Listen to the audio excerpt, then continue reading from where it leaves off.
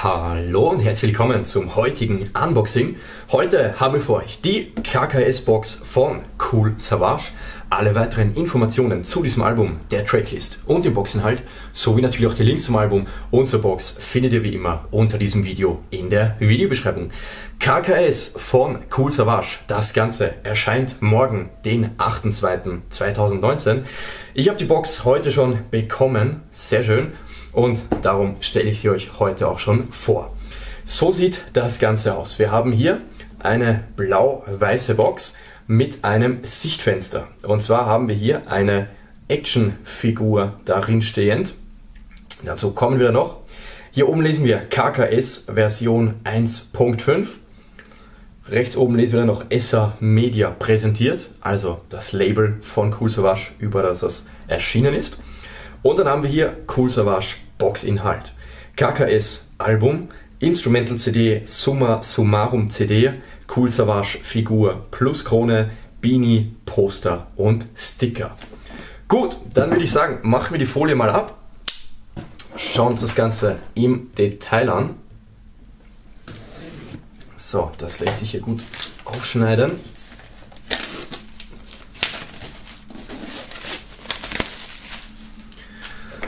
Und so sieht das Ganze dann aus. Also wie gesagt, wir haben hier so eine blau-weiße Box, sieht ein bisschen so nach Blueprint aus, als würde hier irgendwie Sachen vermessen werden. Also hier die Arme, die Hände, wie so ein Prototyp, der hier entworfen wird.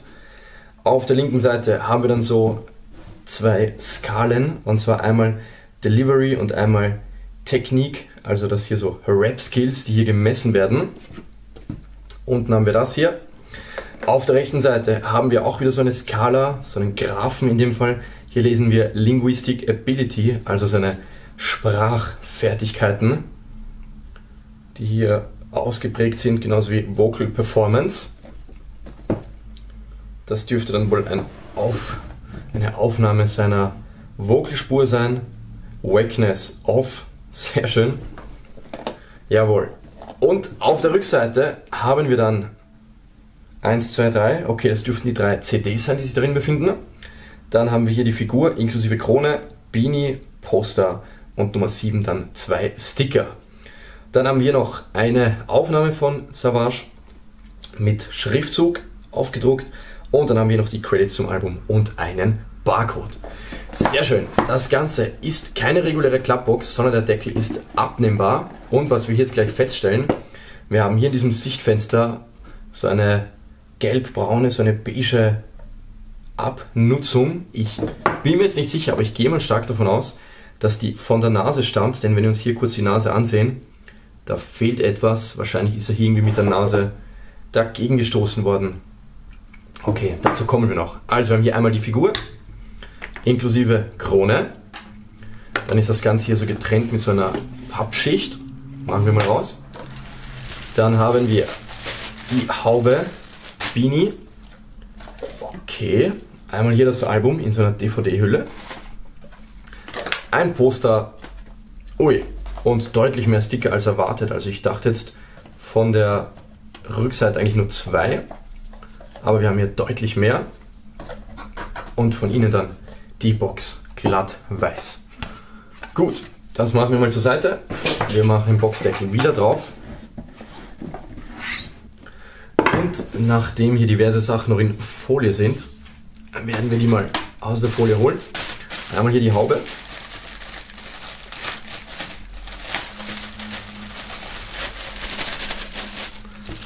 Und dann die DVD bzw. CD-Hülle.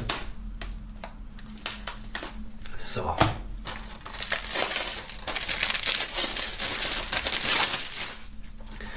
Wie immer starten wir mit dem Album an sich. So sieht das aus. Wir haben hier das Cover von KKS, in diesem Fall im Hochformat. KKS lesen wir hier unten. Dann haben wir Cool Savage vor so einem großen Gebäude hier abgebildet. Cool Savage KKS. Und auf der Rückseite haben wir dann den Inhalt. Wir haben hier einmal CD Nummer 1. Diese ist das Album KKS. Wir haben hier insgesamt zwölf Tracks drauf. Ja, Cool Savage Alben sind generell nicht die längsten, das wissen wir spätestens seit Aura. Aber es kommt ja auf die Qualität an, nicht auf die Quantität, meine Meinung. Wir haben hier zwölf Tracks mit Features von Nessie, Oli Banjo, BOZ, CR7Z, Dave Young und Infinite. Ähm, Karen Firley, SDP, Sido, Nico Santos und Jamule.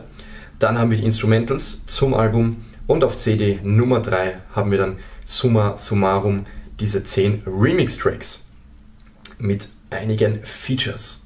Also das sind alte Tracks von Cool Savage, die jedem ein Begriff sein sollten, wie zum Beispiel Aura oder King of Rap, Till Up Joe, was auch immer. Und diese Tracks, diese 10 alten Savage Tracks, diese wurden hier geremixed. Auch hier wieder Credits und Barcode mit drauf. Ja, wir haben jetzt dann hier wohl die drei Sachen drinnen. Ich muss ganz ehrlich sagen, ja, auf der einen Seite schön, dass man zum Beispiel ein Instrumental hier untergebracht hat und nicht extra einen Digisleeve. Allerdings hätte ich das Album doch gerne in einem Standard Jewel Case oder einem Super Jewel Case oder von mir aus auch in einem Digipack bevorzugt. Hm, ja, ist immer so eine Sache. Eventuell, ich bin mir jetzt nicht sicher, wenn man nur das Album kauft, vielleicht gibt es das auch noch in einem Standard Schulcase. Ich befürchte aber, ja, muss, muss ich mich mal erkundigen. Ansonsten werde ich mir das nochmal so in Albumform kaufen, dass ich das so noch ins Regal stellen kann und nicht nur in dieser Hülle. Wir werfen mal einen Blick ins Booklet. So sieht das aus, auch natürlich im Hochformat. Wir haben hier die Tracks inklusive der Info, wer das Ganze produziert hat, wer gefeatured wurde, also wer einfach beteiligt war. Auf Track Nummer 4 freue ich mich besonders, speziell hier wegen BOZ und CR7Z. Krass, dass man die alle auf einen Track geholt hat. Zieht sich dann so durch von der Optik. So sieht das aus. Also, hier Aufnahmen und natürlich die Infos zu den einzelnen Tracks.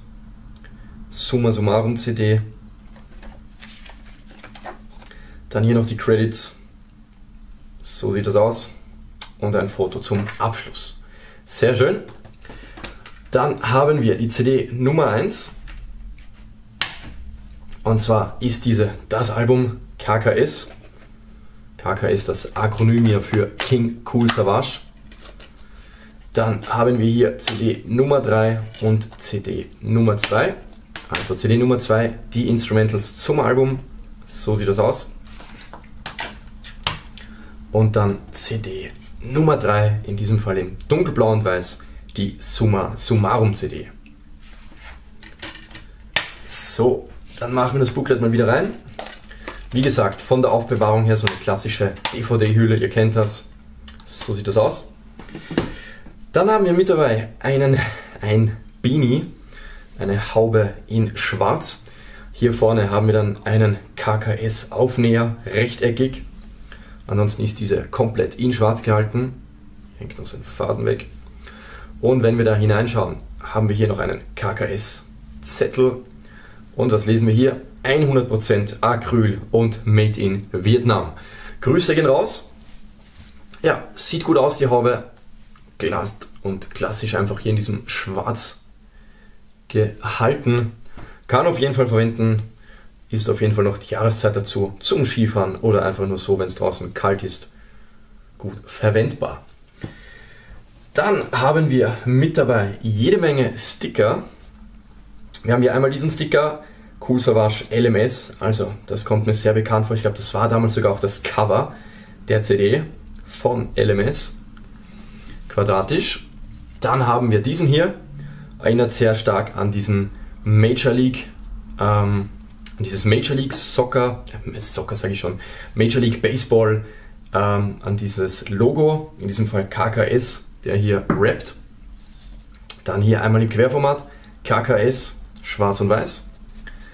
Dann hier im, hoppla, im Hochformat, das dürfte wohl das Design von Adobe Kit sein, KKS. Und dann hier noch im Querformat Cool Savage. Und dann haben wir noch einen Flyer zur KKS Tour 2019. Das sind die Dates. Hier könnt ihr Cool Savage live sehen. Tourabschluss dann in Wien. Sehr schön. Cool Savage KKS Tour 2019. Gut, also wir haben hier einen Flyer und insgesamt zwei, vier, fünf Sticker in den unterschiedlichsten Formaten. Mit dabei dann auch noch ein Poster. Und zwar sieht dieses so aus. Im Querformat hier nochmal das Cover des Albums. Einseitig bedruckt, die Rückseite ist blank-weiß. Sehr schön. Also, so ein kleines Poster, das kriegt man gut unter. Dafür hat man auf jeden Fall Platz. Und als letzten Boxinhalt kommt neben den Tonträgern das eigentliche Highlight der Box. Und zwar haben wir hier eine Figur des King of Rap. Wir haben hier diesen KKS Beanie auf dem Kopf, den wir auch in der Box haben. Dann haben wir hier eine schwarze Jacke, darunter einen schwarzen Hoodie, graue Hose, schwarze Schuhe und er steht dann hier auf einer schwarzen Plattform. Also so von der Verarbeitung, vom Design her echt sehr schön anzuschauen. Auch von der Detailarbeit sehr gelungen. Wie gesagt, einziger Negativpunkt bei mir jetzt, dass hier die Nase so abgestoßen ist. Ich habe es euch ja ganz am Anfang gezeigt. Die dürfte hier etwas abradiert worden sein. Aber ja, ich hoffe, dass eure Nase heil angekommen ist. So sieht das dann aus. Sehr schön. Kann man sich dann ins Regal stellen. Gab es ja schon in einigen Boxen so eine Figur, Wackelkopf oder so eine kleine Figur. Allerdings muss ich ehrlich sagen, das ist in meinen Augen bisher die hochwertigste. Und wie es sich für den King of Rap gehört, haben wir dann auch noch hier eine kleine Krone mit dabei. Hier mit, also eine goldweiße Krone mit grünen und blauen Steinchen drauf. Ich hoffe, man kann ja halbwegs erkennen. Und die kann man dann natürlich auch noch hier, ja, mehr schlecht als recht, aber sie hält doch irgendwie, kann man die hier noch über der Haube aufsetzen. So sieht das dann aus. Oder man macht sie einfach hier unten zwischen die Beine, wo sie ursprünglich war. Dann sieht das so aus. Gut, das war soweit mit dem Boxinhalt. Wir fassen zum Abschluss noch einmal kurz zusammen, was sich alles in der Box befindet. Einmal die eben gezeigte 3D-Figur von Cool Savage inklusive Krone. Dann das Poster einseitig bedruckt im Querformat. Die fünf Sticker in unterschiedlichen Größen und Formaten. Der, die KKS-Mütze, diese Haube.